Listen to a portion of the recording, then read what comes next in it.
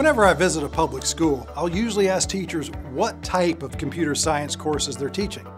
Far too often, I get an answer like keyboarding in Microsoft Word, Excel or PowerPoint. I obviously believe students should be able to use these programs. However, this form of computer science will not prepare our students for the jobs of the future.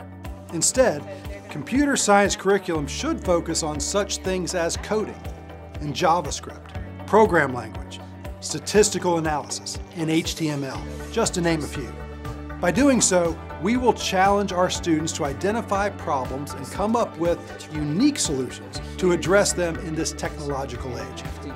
Teaching true computer science like this school in very rural Greene County, North Carolina, will enhance our students' problem-solving creativity and critical thinking skills while working both independently and in teams.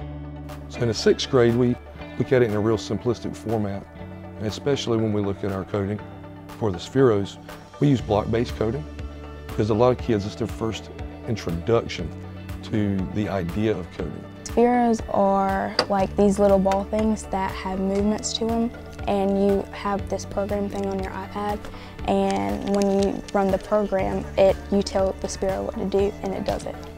It incorporated math, so we kind of like learned about more about math, like about the degrees and um, the seconds that we had to add up. Like um, we had these courses where you had to like calculate how many degrees the Sphero had to turn or like how many seconds it had to run and stop.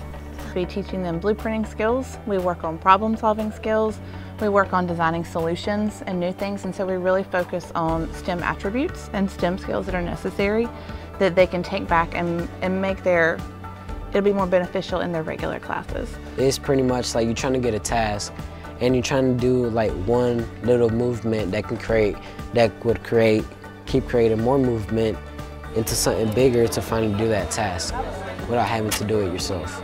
I can make games, I can work with computers, I can design robots and, and build castles for it to tear down and see that this works but this didn't. So I need to go back and, and reframe my plan.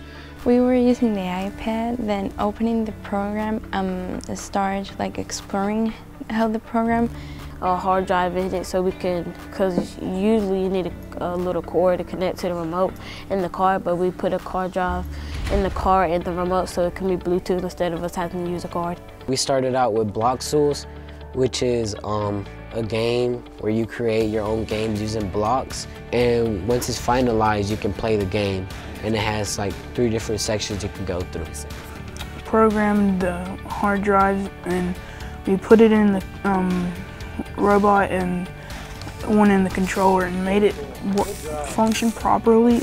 But if I take what I learned here and reapply it, then I'm going to get better and better as it moves on. And the earlier we can start them with that, the more productive they're going to be when they're leaving us and hopefully either going into college or going into the workforce. So we're trying to better prepare them for that.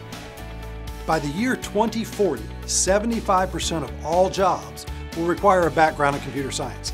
That means Children enrolling in kindergarten will most likely need some type of computer science training by the time they enter the workforce. As it stands right now, North Carolina has less than 30 total teachers in the entire public school system in North Carolina that are qualified to teach true computer science. While at the same time, there are $1.5 billion worth of jobs in North Carolina alone awaiting someone with these very skills. We must do better. And that's why we're putting together a plan to implement computer science training in each of our schools.